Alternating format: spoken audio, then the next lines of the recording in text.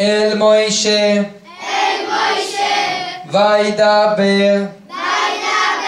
השם אלוהו השם אלוהו מיוי אל מויד לאמור יפה מאוד. עוברים לפסוק הבא.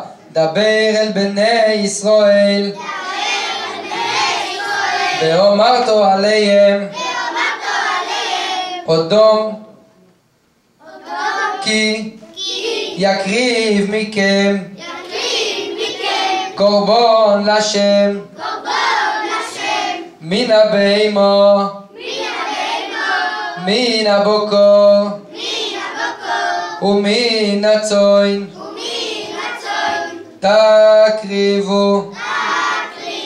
אס קורבנכם. ועכשיו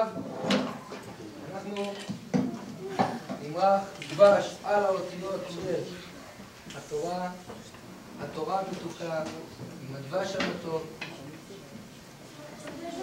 ואנחנו נברך ביחד שהכהן ואתם גם תוכלו לטעום, כמו הילדים החמודים שבאים אלינו לכיתה כל יום ראשון, לטעום מה...